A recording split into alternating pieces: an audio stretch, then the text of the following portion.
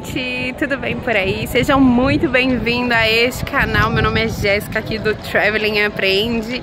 Um, um, um YouTube cheio de vídeos de viagem. Já se inscreve então, porque como vocês podem ver o meu cenário, onde será que estou? Você já deve saber, né? Porque você leu o, o, o título. Gente, estamos na Espanha, isso mesmo, em Sevilha.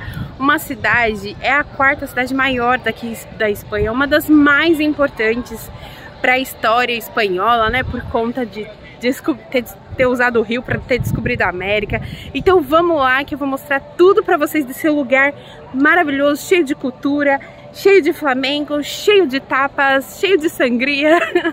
então bora lá, então já deixa o seu like, já comenta, se inscreve. Me segue no Instagram e é isso, vamos que vamos, que eu vou mostrar um pouquinho desse lugar maravilhoso para vocês. Vamos lá!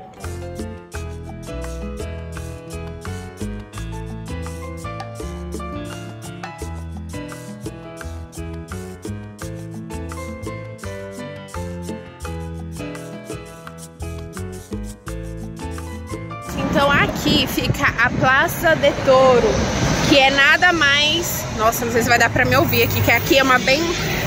Uma avenida bem grandona. Então aqui é a Praça de Touro, onde ainda, infelizmente, existe as touradas. Isso é uma cultura muito forte aqui da Espanha e principalmente dessa parte aqui da Andaluzia. Aqui preferíamos que fosse só história, né? Uma coisa histórica, mas infelizmente ainda é legalizado, é funciona. E aqui você pode, se você quiser, você pode visitar o museu ou a própria arena para poder. Só que você precisa pagar para poder visitar, né? Mas tá aí, ó. Uma coisa que infelizmente ainda faz parte, né?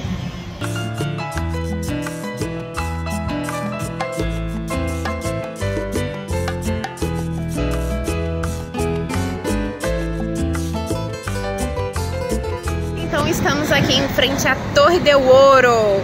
É uma torre muito, foi muito importante, construída no século XIII, bem antiga.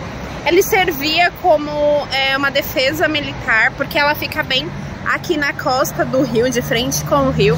Então eles defendiam o tráfego que vinha por este rio, né? E tá aí. Hoje, lá dentro, é um museu de museu do náufrago. É, quase não saiu a palavra e lá em cima você pode ter a visão toda panorâmica. Eu vou deixar aqui na tela o preço, porque tudo se paga, né? Então, é isso. Mas do lado de fora você consegue ver a torre lindíssima.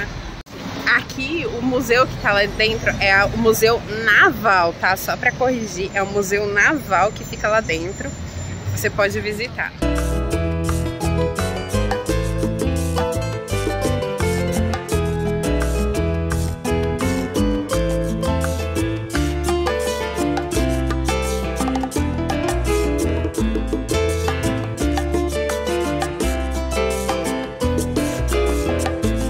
Esse edifício aqui é uma antiga fábrica de tabaco, chama Real Tabacaria.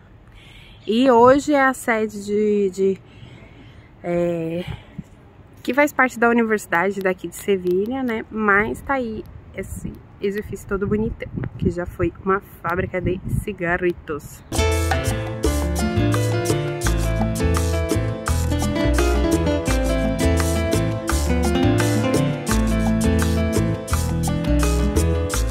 Chegamos aqui na praça, Plaza Espanha.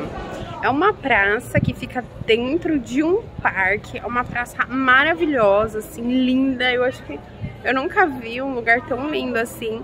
Ele foi construído lá para 1928 para uma exposição em 1929. Então, aí ficou. Tem vários riozinhos artificiais, muito lindo, um balcão. Gente, show de bola esse lugar.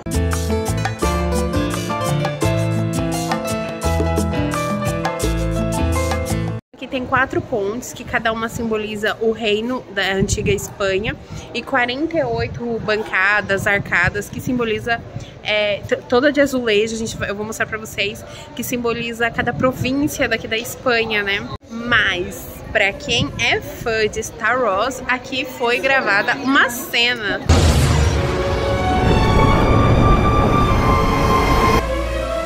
When I first started my training, I was the way it shimmers in the sunlight.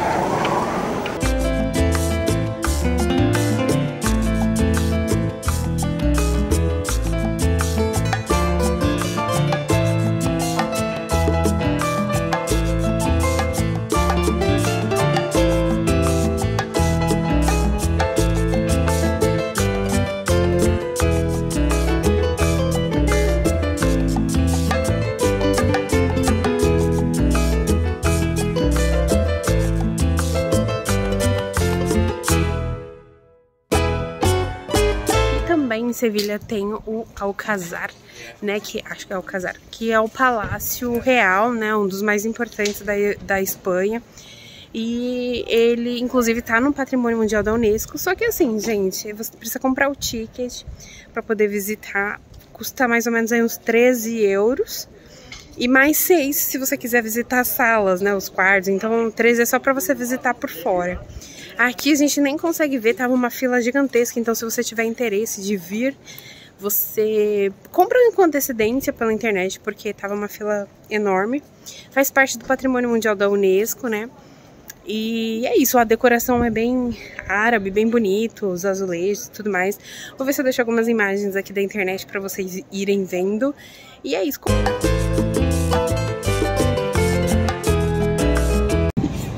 Olá, passeio. Então, chegamos aqui num dos pontos principais de Sevilha, que é a Catedral. Ela é a terceira maior catedral do mundo, gente. Ela é gigantesca. E ela foi construída lá para meados de mil... Tá bom, né? Não, Ela foi construída lá para meados de 1400. Acho que só 100 anos depois que ela foi terminada. Mas é isso, fica como a maior catedral, lindíssima. Para você entrar, você tem que pagar mais ou menos uns 6 euros aí para visitar. E se não, tenta pegar uma missa, né? É isso.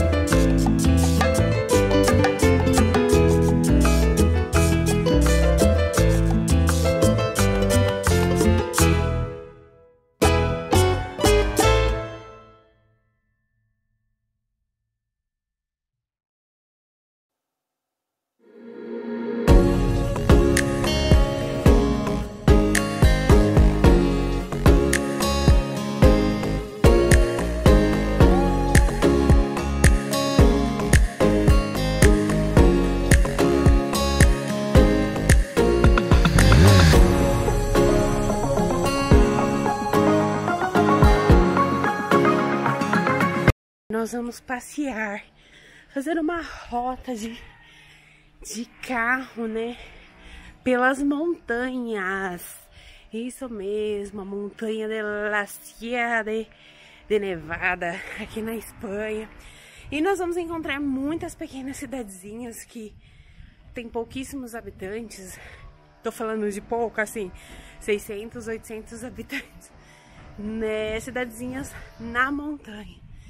Então vamos lá, cidadezinhas com as casas bem típicas brancas, né? Então bora lá que a gente já chegou em uma aqui. Eu vou mostrar pra vocês.